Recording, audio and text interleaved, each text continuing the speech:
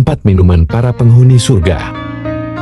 Kehidupan di dunia tentunya akan berbeda dengan di akhirat kelak.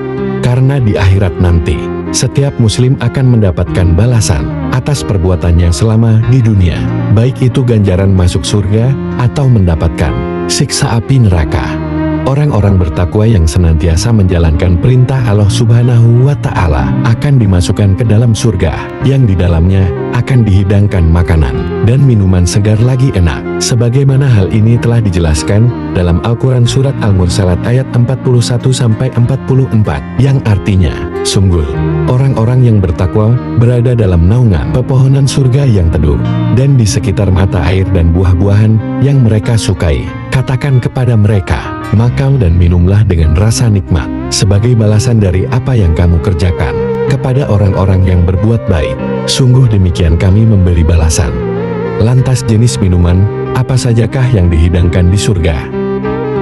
Berkaitan dengan ayat di atas, jenis minuman yang dihidangkan di surga, dalam kitab Sahih Muslim dari Jabir radhiyallahu anhu, Rasulullah shallallahu alaihi wasallam bersabda, penghuni surga akan makan dan minum tidak mengeluarkan ingus dari hidungnya, tidak buang air besar, dan tidak pula buang air kecil.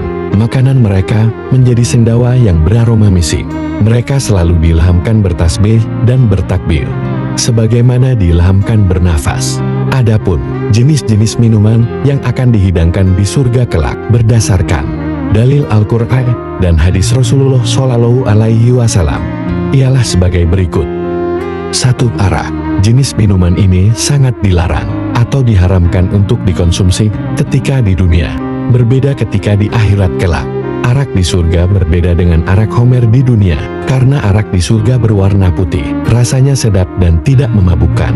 Artinya kepada mereka didarkan gelas yang berisi air dari mata air sungai. Warnanya putih bersih, sedap rasanya bagi orang-orang yang minum.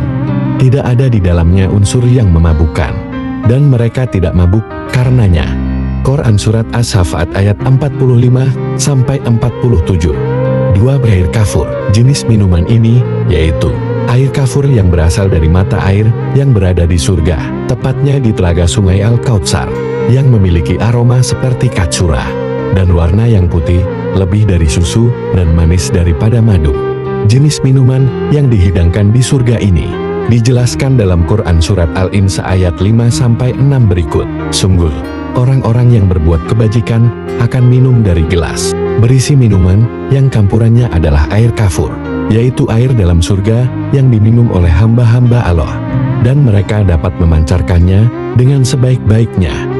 Tiga susu juga menjadi salah satu minuman yang dihidangkan di surga. Hanya saja susu di surga berbeda dengan yang ada di dunia. Karena susu di surga tidak pernah basi dan kental. Minuman jenis ini mengalir dari sungai yang berasal di surga.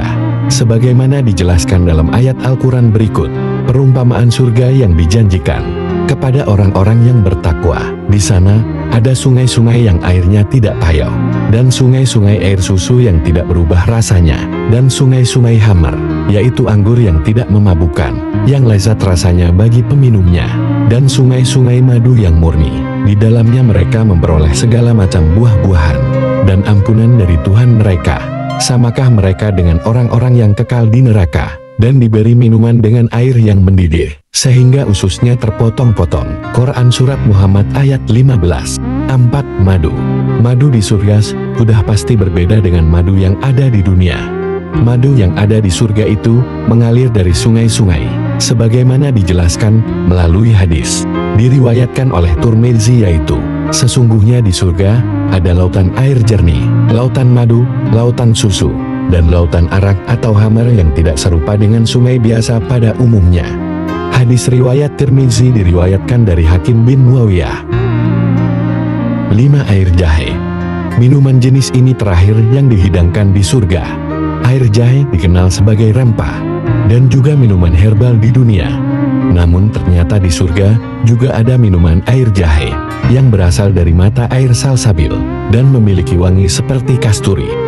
Berkaitan dengan jenis minuman ini, sudah Allah jelaskan melalui surat Al-Insan ayat 17-18 berikut. Dan di antara mereka diberi segelas minuman bercampur jahe, yang didatangkan dari sebuah mata air di surga yang dinamakan salsabil.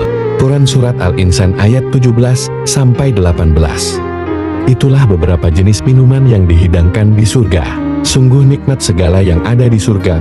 Oleh sebab itu, perbanyaklah amal soleh, serta lakukan segala apa yang telah Allah perintahkan dan jauhi larangannya. Dengan demikian, seseorang yang senantiasa bertakwa dan beriman kepada Allah Subhanahu wa Ta'ala akan merasakan minuman, makanan, dan keindahan surga di akhirat kelak.